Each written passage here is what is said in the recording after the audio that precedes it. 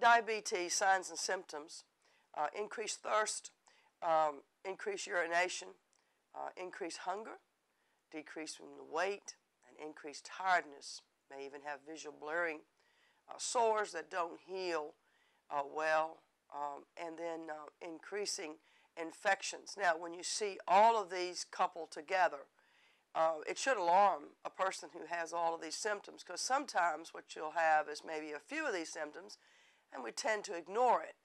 But um, with the increased thirst and the increased urination, even though you think, well, the more water I drink, the more I'm going to urinate. However, uh, it's a, a, continuous cycle of being always thirsty for no apparent reason. You're not running, you're not stressing, uh, you're not in a hot uh, room, or you're not outside in the sun, uh, but you're just thirsty all the time. You just can't figure it out, and you're just running back and forth to the bathroom, and uh, you're just always hungry, but yet you're losing weight. Uh, and you're always tired and your vision is becoming blurred. Now these are important signs to look for, especially if you don't have if you have sores or if you have uh, frequent infections and these sores are not healing.